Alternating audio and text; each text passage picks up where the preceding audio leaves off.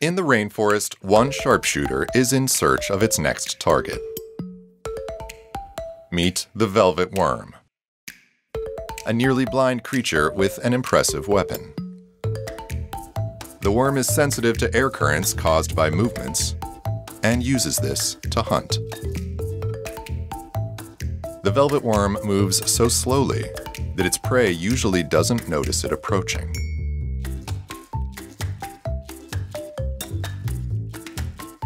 The worm's secret weapons are two pistols that fire sticky ropes up to a foot long.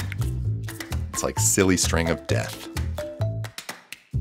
The substance then paralyzes the prey with fast drying adhesive.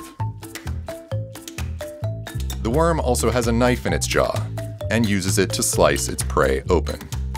It then injects saliva that liquefies the insides of any unlucky victim.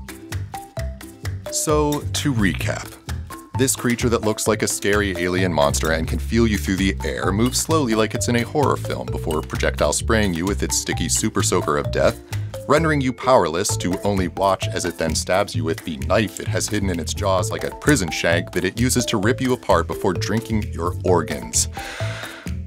Yeah, that thing is terrifying.